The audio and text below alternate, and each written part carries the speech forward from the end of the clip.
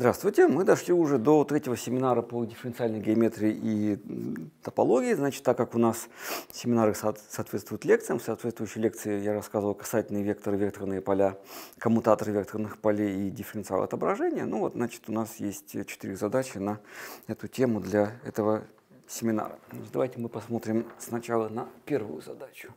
Значит, первая задача такая, что рассмотрим окружность, заданную уравнением. Ну, ничего проще этого уравнения быть не может. Окружность с центром в нуле радиуса 1, значит, и рассмотрим точку P, которая вот такие вот координаты. Значит, что нужно найти? Какова размерность э, касательного пространства в этой точке? Вот, и найти еще базис какой-нибудь в TPS-1. Да? Значит, эта задача, она очень простая, но я специально хочу ее обсудить, потому что часто возникает одна такая путаница. Вот смотрите, а, с одной стороны мы знаем, что у нас касательное пространство в точке – это векторное пространство. Но, но с другой стороны, из-за того, что у нас в данном случае мы рассматриваем одномерную поверхность, то есть то есть кривую в двумерном пространстве, то есть в плоскости, это векторное пространство можно в то же время рассматривать как э, афинное подпространство размерности 1 внутри плоскости. Да?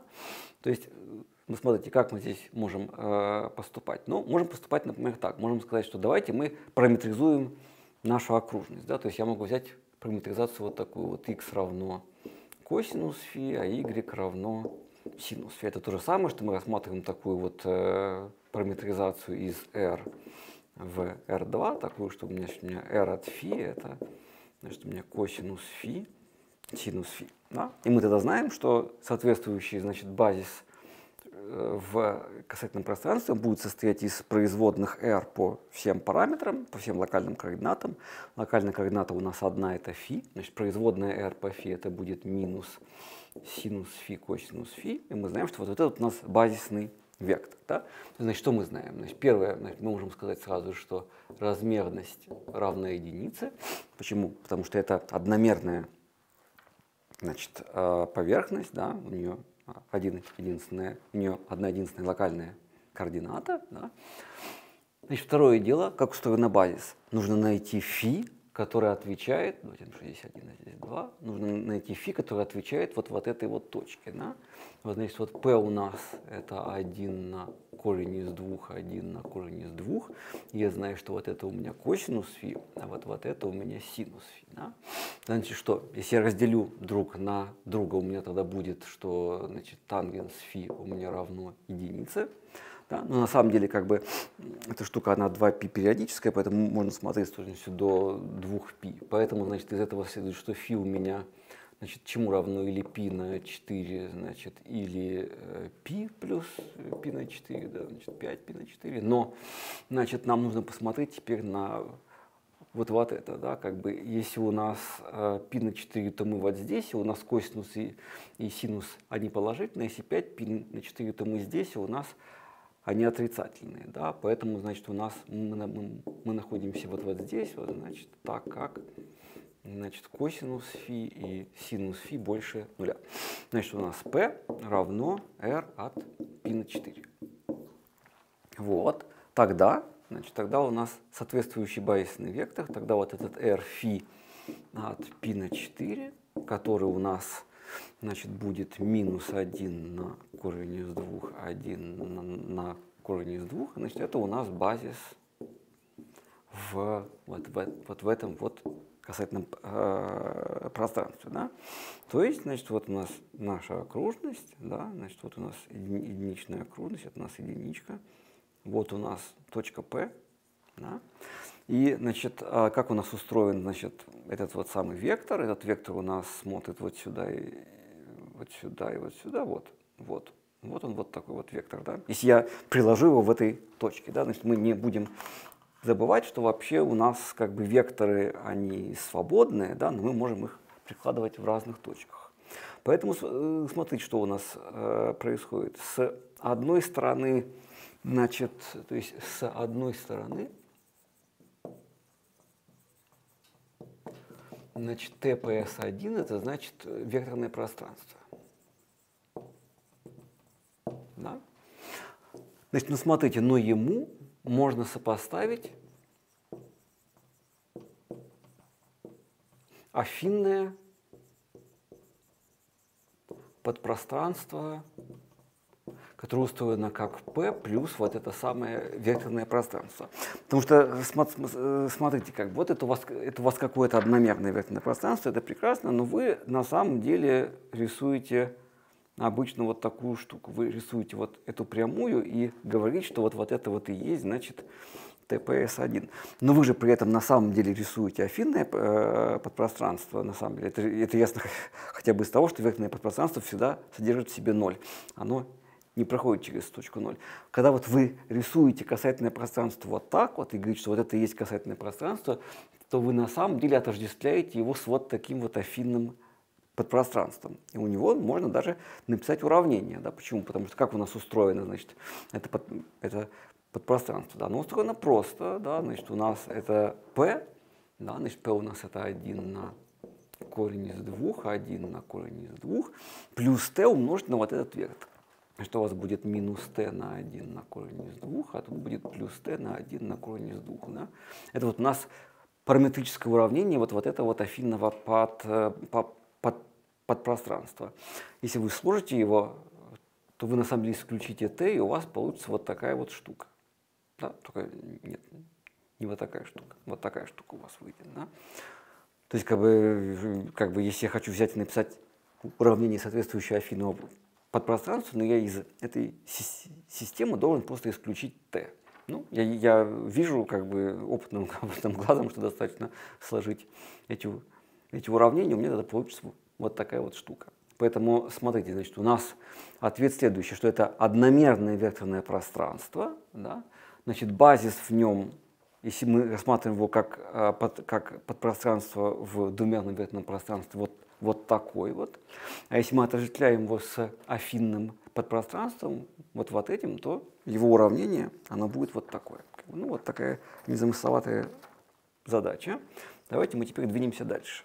Смотрите, вот задача 2. В ней тут несколько пунктов, поэтому давайте мы значит, будем решать их по очереди. Да. Ну, вот, значит, здесь у нас уже будет сфера. Значит, x квадрат плюс y квадрат плюс z квадрат равно 1. Да? И у нас дана точка. Значит, вот такая 2 третьих, 2 третьих, 1 третьих. Тут 2 третьих. Да? Значит, ну, легко видеть, что у вас 4 плюс 4 плюс 1 это 9, поэтому эта точка действительно там, там лежит. Да? Значит, и вам э, в, в пункте А предлагается описать касательное пространство в терминах объемлющего пространства. Что это значит? Ну, это значит просто взять и найти вот такую же плоскость. Как бы. Ну, давайте мы это будем делать. Смотрите, для этого э, как-то э, можно поступать по-разному. Можно поступить, например, вот так. Да? Можно взять и, и заметить вот такую вот вещь. Что если у нас есть э, поверхность, заданная вот таким вот уравнением, да? что такое касательный вектор? Касательные векторы можно, можно по ним думать как про векторы скорости кривых, лежащих на этой поверхности. Да? Поэтому у нас, если есть какая-то кривая, которая лежит на этой поверхности, она удовлетворяет тогда вот такому вот уравнению, так ведь, потому что она лежит на этой поверхности. А давайте я возьму производную по t. Да, значит, что у меня будет? У меня будет, значит, производная f по x от вот этой вот точки на x с точкой от t плюс, значит, f Y. Ну, давайте я не буду писать аргументы, это понятно, что они там будут э, такие же. Да? Смотрите, если я считаю, что у меня вот есть какая-то заданная точка P, да, и вот у меня э, кривая такое, такое, что у меня x от, x от нуля, y от нуля, z от нуля равно у меня p, да, значит, а ее вектор скорости в этой точке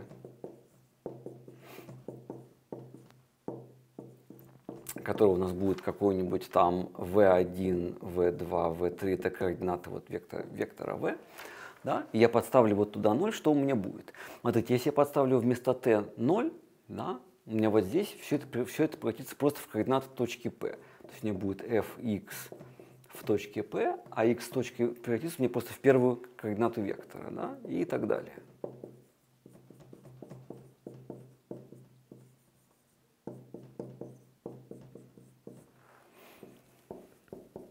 То есть, э, смотрите, значит, у меня получается, что если у меня v это вектор скорости кривой, лежащий на, на поверхности, которая вот э, неявно задана одним уравнением, то на самом деле он удовлетворяет вот, вот такому вот условию. Да? Поэтому, значит, если я возьму значит, нашу поверхность, да, у меня здесь, значит, производная по x, это у меня будет 2x, производная по y это 2y, а производная по z это 2z, тогда, значит, это, значит, это уравнение будет у меня устроено как? Я, я вспоминаю, кто у меня точка P, значит, у меня будет 4 э, третьих v1 плюс 4 третьих v2 плюс 1 треть v3 равно 0. Да? То есть, значит, я понимаю, что у меня, значит, то есть у меня вектор касательный, значит, у меня вектор v принадлежит касательному пространству в этой точке P Значит, КС2 это эквивалентно тому, что у меня выполнено вот такое вот уравнение. Я могу на самом деле на одну треть разделить, у меня тогда, а только тут будет две трети, да, значит, на две трети я могу разделить, мне получится 2v1 плюс 2v2 плюс v3 равно нулю. Значит, вот у меня вот такое вот описание может быть, да. Значит, если я хочу там выбрать базис, я могу его выбрать, да, как бы это не вопрос, просто базис в соответствующей это просто э, соответствующая фундаментальная система решений этого, этого уравнения. Да? А могу поступить как, как раньше, да, и я могу сделать это в, в параметрическом виде. Смотрите, я, а, так как у меня в следующих пунктах используются стереографические координаты, я буду тогда использовать стереографическую э, проекцию. Да? То есть, значит, вот это мы значит, ищем через неявные уравнения, а через явную параметризацию это будет устроено так. Вот, значит, параметризация. Параметризация значит, сферы. Давайте буду использовать через телеграфическую проекцию. Мы эти формулы уже выводили, значит, я, я напомню, что, что, что происходит. Тем не менее, у нас есть сфера, мы выбираем там северный полюс, это у меня x, y, z я каждой точке P отличной от полюса, я сопоставляю вот что. Как бы я провожу э, прямую через полюс и эту точку, и я в экваториальной плоскости получаю точку UV0. Но 0, 0 потому что это плоскость z равно нулю. Тогда у точки P координаты, они устроены вот так. Значит, мы их когда-то вывели. Это будет 2u на на 1 плюс u квадрат плюс v квадрат, 2v на 1 плюс u квадрат плюс v квадрат и значит z, который будет у нас минус 1 плюс u квадрат плюс v квадрат, 1 плюс u квадрат плюс v квадрат. Да? Значит, можно написать обратные формулы, они эквивалентны. У нас, значит, u это x на 1 минус z, а v у нас это y на 1 минус z. Да? В частности, давайте мы заметим, что p, которая, значит, у нас 2 трети, 2 трети, 1 треть, это ее координаты э, тогда эквивалентны тому, что u у нас равно, значит, 2 трети поделить на 1 минус 1 треть, это будет 1, а v это будет, значит, 2 трети поделить на 1 минус 3, тоже будет 1. Это не случайно, что у этой точки были такие координаты. В этих координатах очень удобно подсчитывать. Вот. Значит, и что мы делаем с, этим всем дальше? Да, значит, мы с вами, э, сейчас я возобновлю эту черту, вот, мы найдем с вами тогда базисные векторы, как мы это делали раньше, как для параметрической поверхности. Да? Значит, у нас вот это параметризация вот такая, она просто обозначает, что у нас на нашу сферу можно написать как r от uv равно, вот, значит, вот x, выраженные через u и v, y, выраженную через u и v, значит, и z, выраженный через u и v.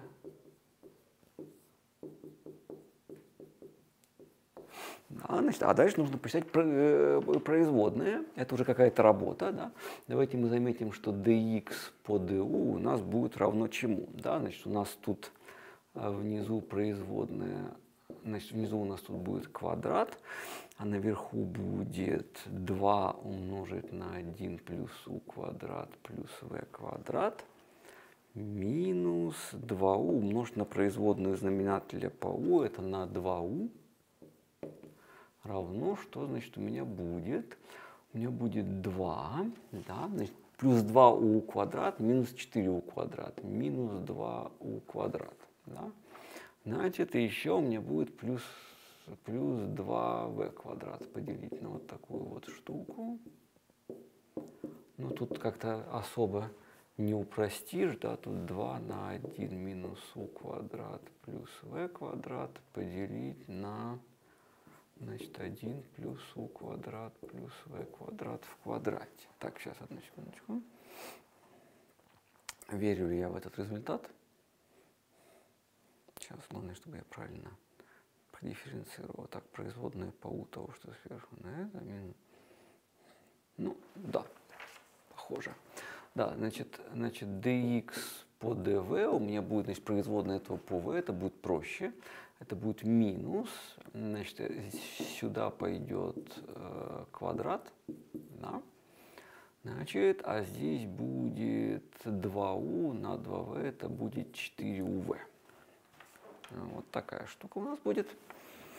Да, значит, и у нас будет d, сейчас это не dx, только это у нас, а, ну да, хорошо, я, я начал считать производные x по всему. Хорошо, давайте считать теперь y. Производная y по u. Ну, смотрите, у меня вот в этой штуке не отличается тем, что я э, взаимозаменяю u и v, поэтому производная этого по u у меня, вот этого по u у меня будет минус 2 uv поделить на вот это все. А производная y по v у меня будет как здесь, только заменить u на v. Значит, 2 на 1 плюс u квадрат минус v квадрат на вот это вот. Угу. Так, ну теперь более сложная вещь. Значит, dz по du. Значит, что это у меня будет? Значит, здесь у меня будет 1 плюс u квадрат плюс v квадрат в квадрате. Там не будет производной этого по u, это 2u умножить на знаменатель. Минус э, то, что у меня сверху, умножить на производное этого по u, это будет 2u. И что же такое у меня будет? Давайте посмотрим. Значит, что значит? У меня тут будет 2u минус минус 2u. Это будет 4u. А дальше мне будет 2u в кубе, да, а, минус 2u в кубе, оно у меня сократится. А еще у меня будет, значит, плюс 2uv квадрат, а, ну и минус 2uv квадрат, это сократится просто. Значит, вот такая будет штука.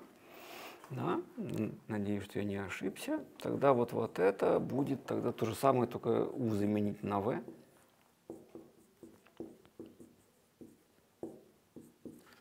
Отлично. Тогда что у меня будет, если я а, подставлю нашу точку? Да. Значит, смотрите, у нас, э, значит, r по u, например, да, это значит dx по du, dy по du и dz по du. Ну, потому что r это x плюс z, да. Поэтому у нас r по u в точке p, да. Смотри, значит, я знаю, что у меня у точки P локальные координаты U равно 1, V равно 1. Поэтому, значит, что, что у меня получится? Да? Значит, я вот сюда подставляю U равно 1, V равно 1. Да? Значит, сверху у меня будет 2, а внизу у меня будет 3 в квадрате 9. Да? Теперь dy по du. Вот такая штука будет минус 2 девятых а dz по вот такая штука будет 4 девятых. Давайте проверим, что это удовлетворяет мне вот такому вот уравнению. Да? Значит, у меня будет тогда там а, два вот этих, это будет 4 девятых, плюс вот это минус 4 девятых, плюс...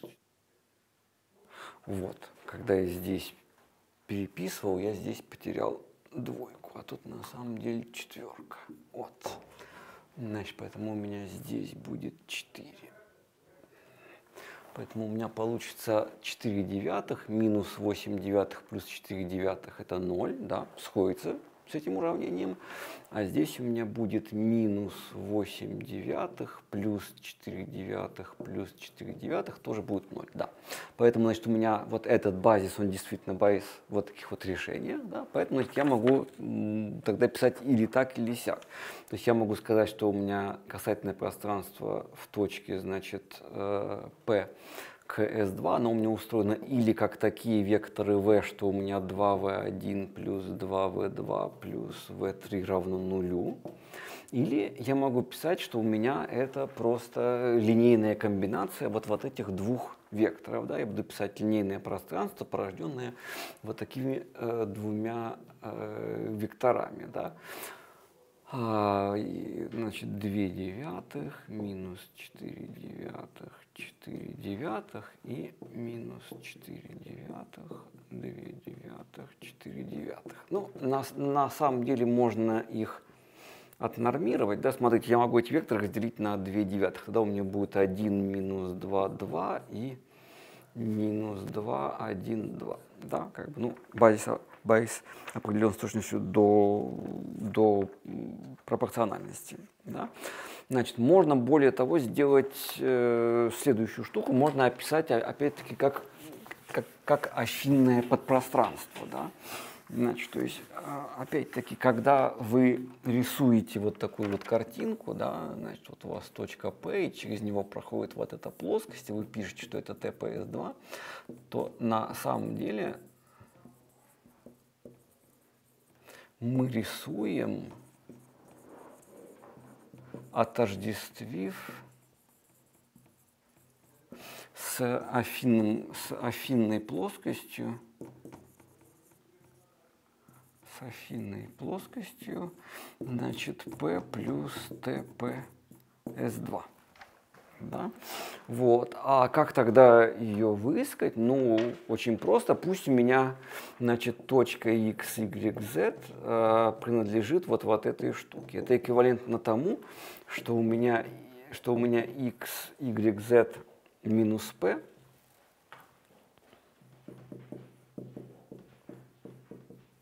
э, принадлежит вот этому самому TPS2. А это эквивалентно чему? Вот вот координаты этой штуки минус p, это будет что у меня? Это значит, у меня будет x минус значит, 2 трети, y минус 2 трети и z минус 1 треть. А я знаю, что лежать вну, внутри касательного, э, касательной плоскости, это удовлетворять вот, вот этому уравнению. Поэтому у меня будет на самом деле вот такая штука. Ну, здесь э, скобки можно не писать. Если я, если я, я раскрою скобки, что у меня будет? У меня будет 2х плюс 2y плюс z. А тут что у меня будет? Минус 4 третьих, минус 4 третьих, это минус 8 третьих, да? Вот, и еще минус 1 треть, это минус 9 третьих, это значит минус 3 равно 0. Да, то есть вот у меня будет, значит, вот такое вот уравнение.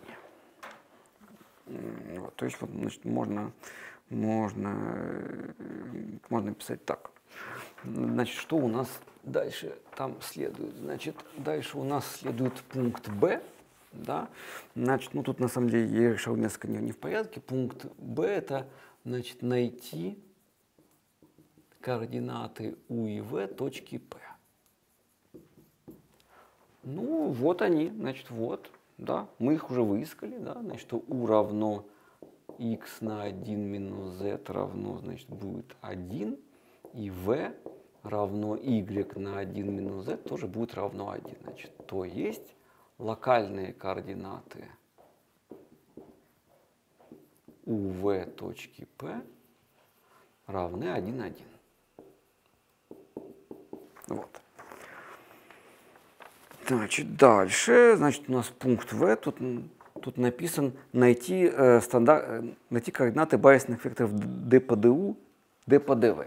Ну, отлично, нужно просто вспомнить то, что я рассказывал в лекциях, то, что d это на самом деле r. Значит, поэтому, значит, это равно у нас, значит, вот тому вот вектору в точке P.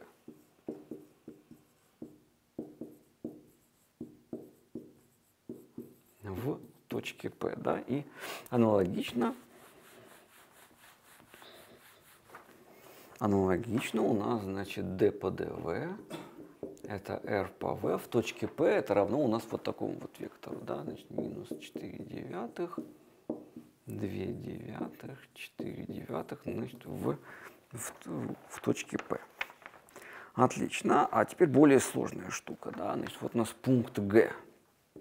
Значит, нас просят рассмотреть вектор v, который у нас d по du.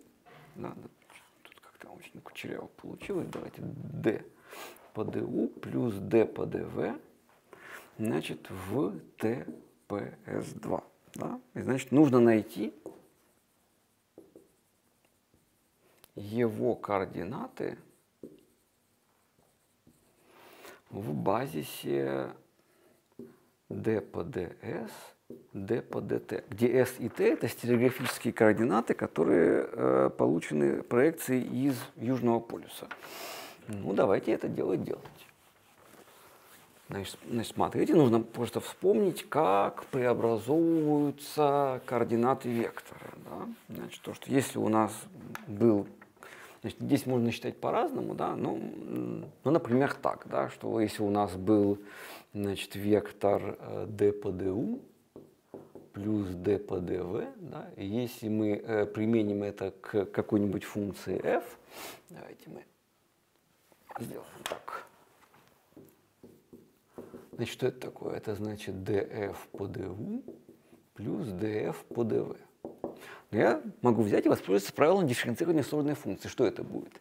Это у меня будет, значит, df по ds на ds по du плюс df по dt на dt по du. Это я написал вот, вот эту штуку.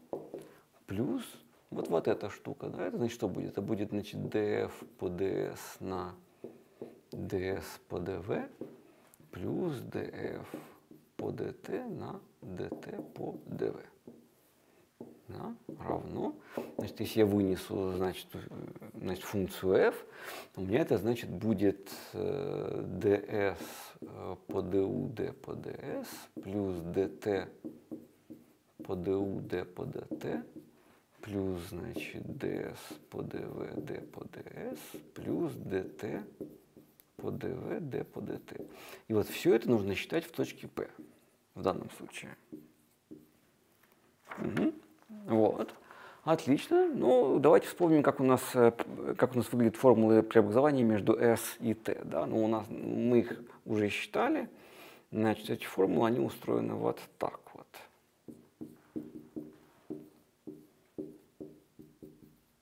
Ну, значит, еще раз. Вычисление – это чисто упражнение в, в дифференцировании. Давайте мы, мы это сделаем. Да? Значит, что у нас будет? У нас, значит, ds – по du равно, да, значит, тут у меня будут квадраты, еще в квадрате. Тут будет производная этого по u, то есть 1 умножить на u квадрат плюс v квадрат минус u умножить на производное этого по u, значит, на 2u. У меня получается тогда v квадрат минус u квадрат на u квадрат плюс v квадрат в квадрате. Да?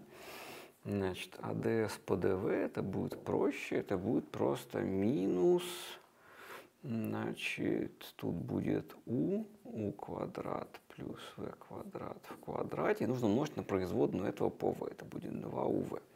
Вот такая штука, да? Значит, аналогично, заменяя U на, S на T, U на V, я, я могу посчитать, что dt по du у меня это будет минус 2uv на вот эту штуку в квадрате а dt по dv, это будет у меня u квадрат минус v квадрат поделить на u квадрат плюс v квадрат в квадрате. Да, значит, у меня тогда, значит, я вспоминаю, что у меня, значит, что, что у меня там, там написано, да. Значит, э, тогда, значит, у меня в точке P, которая имеет локальные координаты 1, 1, получаем, что у меня V, который был d по du плюс d по dv, равно. Вот, значит, ds по du. Если я подставлю u равно 1, v равно 1, это будет просто 0. Оно исчезнет. Да? dt по du. Здесь у меня что будет? У меня будет, значит, минус 2 поделить на 1 плюс 1, 2, 2 в квадрате, d по dt. Да? Плюс ds по dv в этой точке будет э, минус 2 поделить на 2.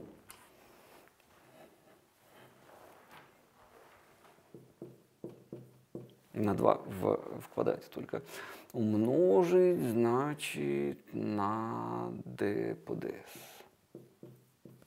А здесь dt по dv я поставлю единицу, а опять будет 0. Поэтому у меня получится, значит, минус 1 вторая d по ds, минус 1 вторая d по dt. Вот у меня ответ. Да? А могу поступить так, как мы с вами обсуждали, что нужно просто умножать координаты вектора на, на матрицу Якоби. Да? Значит, что значит, у нас будет? Значит, координаты v в базисе d по du, d по dv. Это просто 1, 1. Да? Значит, якобиан замены он у нас устроен как? Просто вот, вот эта вот штука, да, значит, ds по du это у нас, значит, v квадрат минус u квадрат на вот это вот, возьмем g. Значит, ds по dv это будет минус 2uv на u квадрат плюс v квадрат квадрат. Здесь будет вот это вот. А здесь будет u квадрат минус v квадрат поделить на вот, вот это вот. Отлично. Тогда g в точке P. Ну что, я должен, буду подставлять u равно 1, v равно 1. Здесь мне будут нули, да? а здесь мне будет, значит, я, я уже считал эти числа, минус 1 вторая, минус 1 вторая. Да? Тогда, значит, что у меня происходит? Тогда, значит, э, значит, тогда, значит, координаты v в базисе d по ds, d по dt равны. Значит, я беру наш якобиан замены, умножаю на координаты вектора, у меня получается что? Минус 1 вторая, минус 1 вторая, то есть v равно этого, этот вот коэффициент на d по ds минус вот, вот этот вот на d по dt. И все. Значит, то есть, как, как, как видите, это достаточно просто. Дальше давайте посмотрим на пункт D. Да, значит, тут у нас есть функция f, которая у меня x плюс y плюс z. Значит, я ее просто ограничиваю на сферу. Да? Отлично. Давайте мы напишем ее тогда в координатах u и v. Да? Значит, тогда у меня f от uv равно. Ну что такое, я же помню, какие у меня были, были выражения для x, y и z. x у меня это значит 2u на 1 плюс uh, u квадрат плюс v квадрат. Y это у меня 2v на 1 плюс u квадрат плюс v квадрат, а z у меня минус 1 плюс u квадрат плюс v квадрат поделить на 1 плюс u квадрат плюс v квадрат. Да? Вот, вот такая штука. Ну или вкратце, значит, это у меня минус 1 плюс 2u плюс 2v плюс u квадрат плюс v квадрат поделить на 1 плюс u квадрат плюс v квадрат. Вот я эту функцию x плюс y плюс z взял и записал просто в локальных координатах u и v, которые получаются у меня с помощью стереографической проекции из Северного полюса. А дальше что? А дальше значит, нас просят найти производную f вдоль v. да? Ну что, значит, нужно вспомнить, что v у нас это просто значит, d по du плюс d по dv по условию у нас, у нас дан, дан такой вектор v, значит, поэтому у нас производная вдоль этого вектора это будет просто d по du от всего вот, вот этого.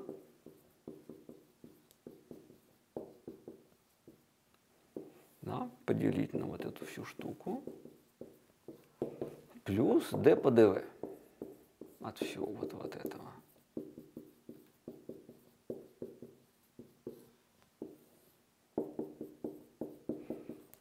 Ну, эта штука такая чисто счетная, ну, давайте посчитаем. Да, вот, значит, у меня df по du, да, вот это первая штука, да. И что мне будет? Значит, у меня будет такая дробь, большая-большая дробь, 1 плюс u квадрат плюс v квадрат в квадрате, а там у меня будет что? Значит, у меня будет производная от вот этого дела по u, это будет 2 плюс 2u умножить на то, что у меня снизу. Минус все то, что у меня сверху.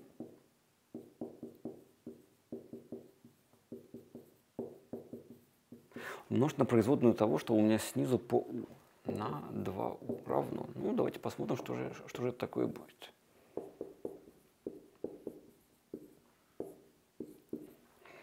Вот. Да, значит, у меня значит, здесь будет сверху тогда, давайте я напишу так, 2 на 1 плюс u на 1 плюс u квадрат плюс v квадрат. Значит, минус 2u на вот, вот это. Сейчас мы поймем, почему я не хочу это дело упрощать. Смотрите, нам же нужно посчитать это все в, в точке P, да? Поэтому у меня df по du в точке P будет равно чему? Нужно просто вот сюда подставить u равно 1, v равно 1. Тут у меня будет 3 в квадрате, а тут будет 2 на 2 на 3 минус 2 на минус 1 плюс 2 плюс 2 плюс 1 плюс 1. Что мне получается? 12 э, минус 2 умножить на единички сокращаются. 2 плюс 2, 4, 5 минус 2 на 5, это будет 10. На 3 квадрат, это будет 2 девятых. Отлично. Теперь смотрите, как бы у меня вообще функция f, она симметрична относительно того, значит, как у меня э, относительно обмена u и v. Поэтому меня производная f по v будет устроена так же, только мне нужно u и v обменять обменять местами. Но когда я буду поставлять координаты u равно 1, v равно 1, в этом вообще никакой разницы нет.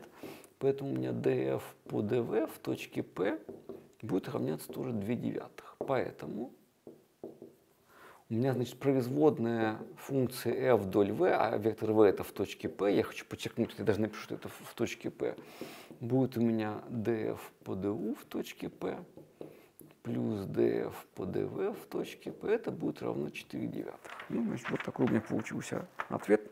Надеюсь, что я не обсчитался. Отлично. Давайте теперь мы будем смотреть на задачу 3. Значит, задача 3. Надо смотреть, значит, на группу SO3. Да. И нужно найти касательное пространство, значит, в единичной матрице. Это в пункте А. Ну, давайте подумаем. Да? Значит, давайте я буду думать в том же самом духе, в котором я думал про, э, повер... про э, сферу как невно заданную поверхность.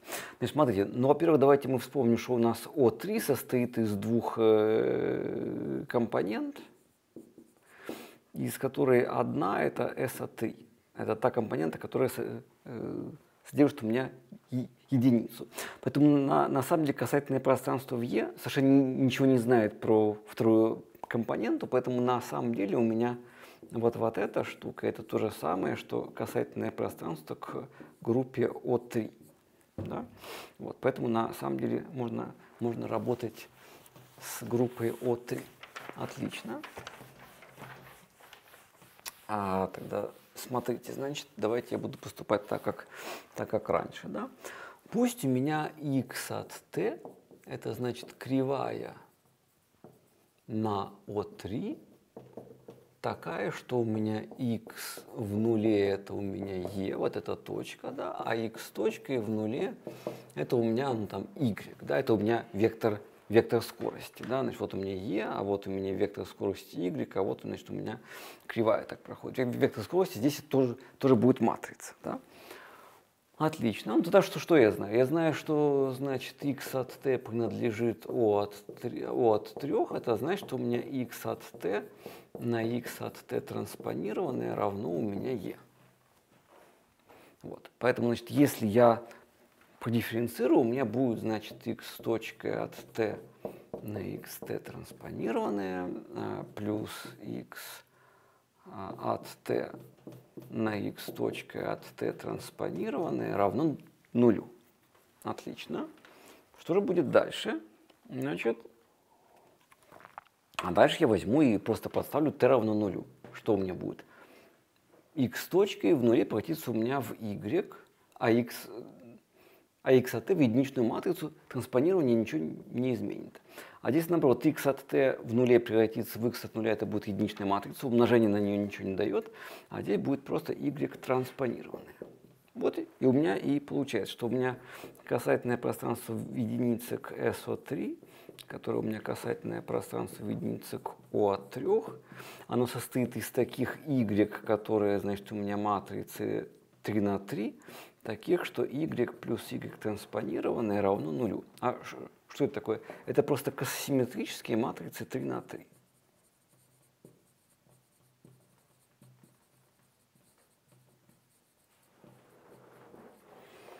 Вот, отлично.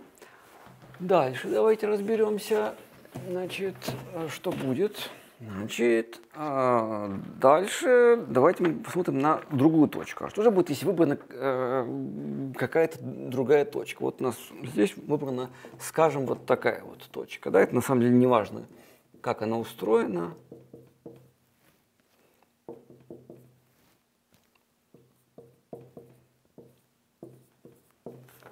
Просто, ну, как бы, какая-то конкретная точка. Но смотрите, мы будем играть ровно в ту же самую игру. Да? Значит, вот у меня вот есть это самое О3. Заметьте, что эта P, она принадлежит О3, потому что ее определитель, он равен единице. Вот, значит, у нас точка P. А вот какой-то, значит, вектор скорости y. Да? Значит, у нас будет такая кривая, что x от нуля равна у нас P, а x с точкой от нуля равен у нас y. Да? Ну что, значит, будет Значит, тут точно то же самое, что было, да? Давайте я буду писать вот, вот такую вещь, только без аргументов. Это и так ясно, кто у нас там есть, кто. Значит, x, значит, сейчас, значит, у нас x на x транспо... Ну, хорошо, давайте я с аргументами писать буду, а то вдруг кто-нибудь не, не поймет. Значит, вот у нас уравнение того, что эта кривая лежит на O3, я его дифференцирую по t, получается x точка от t на x t от t плюс x от t на x точка от t, значит, равно нулю. Вот, отлично. И дальше я, значит, что я делаю? Я подставляю t равно нулю. Значит, что у меня, что у меня будет? Значит, у меня будет здесь, значит, x точка от нуля это будет y, умножить на x от нуля это будет p транспонированное, плюс, а здесь x от нуля это будет p, а x точка от нуля это будет y транспонированное, равно нулю. И вот у меня просто, у меня, у меня просто получится, что у меня касательное пространство, оно состоит у меня из таких матриц y 3 на 3, которые удовлетворяют вот такому вот э, соотношению. Смотрите, для, для каждой конкретной точки P, если вы распишете в терминах матричных элементов, это будет э, какое-то свое э, соотношение.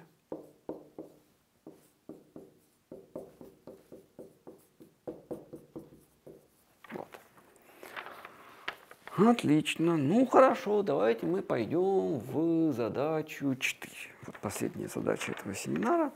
Значит, что мы тут будем делать? Значит, надо рассмотреть отображение, значит, F, которое из сферы без северного полюса в сферу без северного полюса, которая сдается так. Значит, вот у вас на сфере без северного полюса есть телеграфические координаты U и V, мы объединяем их в такое в комплексное число z, которое u плюс iv, и задаем это отображение как z равно z в квадрат. Да? Значит, ну давайте э, э, пойдем по вопросам. Да. Гладкое ли это отображение? Ну, посмотрим. Значит, да, что, что у нас происходит? Да? Значит, z квадрат – это значит у нас u плюс ив в квадрате. Это у нас будет вещественная часть u квадрат минус v квадрат, а мнимая часть будет плюс 2u плюс там i на 2u и v. Это значит, что у вас f от uv равно значит, вещественная часть, мнимая часть. Вот у вас как это самое f от, от uv задано в координатах у, у и v. Да? Значит, значит, оно, конечно, гладкое. Ну, и вообще это многочисленные степени 2. Отлично. Дальше нас просят запишите его в стилографических координатах S, S и T. Отлично. Давайте мы, значит, это дело сделаем. Значит, вот у меня были S и T. Да? Значит, я по ним строю что? U и V. Значит, U у меня это S на s квадрат плюс t квадрат, а v у меня это t на s квадрат плюс t квадрат. Да? Дальше я считаю v. Да? Значит, вот эта самая штука, да, вот f. Значит, f от вот этих самых u и v у меня будет равна чему? Значит, вот это все в квадрате минус вот, вот это вот все в квадрате. Да, а тут у меня будет их произведение.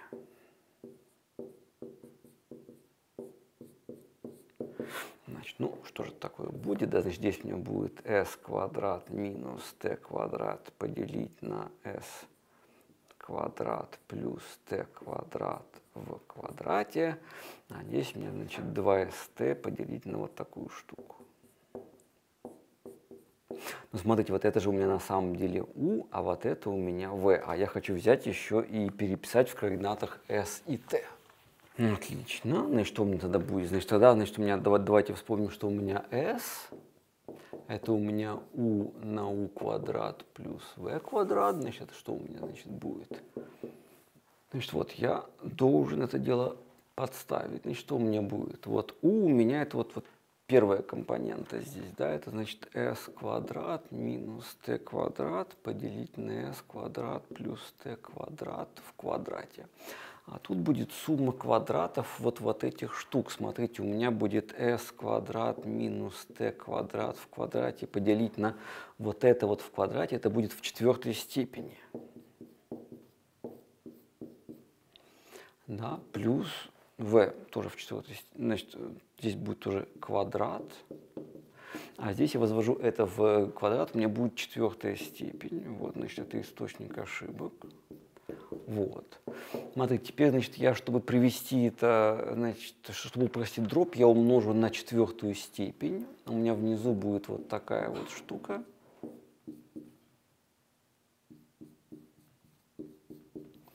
А наверху у меня будет, смотрите, у меня э, будет s квадрат минус t квадрат, и мне придется умножить еще на s квадрат плюс t квадрат в квадрате. Вот такая у меня будет штука. Вот, равно. Смотрите, это будет s квадрат минус t в квадрате на s квадрат плюс t квадрат в квадрате. А что мне будет внизу? Смотрите, если я раскрою это как полный квадрат и соберу обратно, у меня здесь будет s квадрат плюс t квадрат в квадрате. Поэтому это сокращается, это будет s квадрат минус t квадрат. Смотрите, формула такая же, как там. Это, это, это замечательно. А что будет с t? Значит, t у меня будет v поделить на u квадрат плюс v квадрат равно. Да? Значит, v мне нужно брать вот, вот это. Вот это будет, значит, 4s квадрат t квадрат поделить на s квадрат плюс t квадрат в квадрате. А внизу будет ровно то же самое, что было здесь. Да? Значит, s квадрат минус t квадрат в квадрате на s квадрат плюс t в квадрате в четвертой плюс 4s квадрат t квадрат на s квадрат плюс t в квадрате в четвертой равно. Я умножаю на s квадрат плюс t квадрате в четвертой, у меня получается вот такая вот штука. Только сейчас, сейчас. Здесь у меня, здесь у меня а v у меня вот такой, у меня будет просто 2st, что-то я тут уже несколько увлекся. Поэтому у меня будет 2st.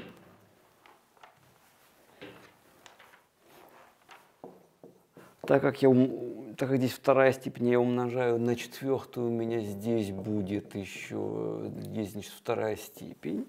А тут у меня точно так же, как там, это дело сложится в квадрат квадратов, поэтому будет 2st. Поэтому смотрите, в координатах значит, st, f имеет вид. Это будет вид, значит, f от st равно, значит, s квадрат минус t квадрат, а тут у меня будет 2st. Смотрите, как бы он устроен у меня а, просто так и так же. Вот. Теперь смотрите, как бы определен ли f, определен ли f в северном полюсе. Да? Смотрите, n значит, имеет координаты s равно нулю, t равно нулю. Смотрите, это отображение, даже если мы его определили вне северного полюса, прекрасно в него продолжается. Поэтому, значит, да, f определено в n, и гладко на всей сфере.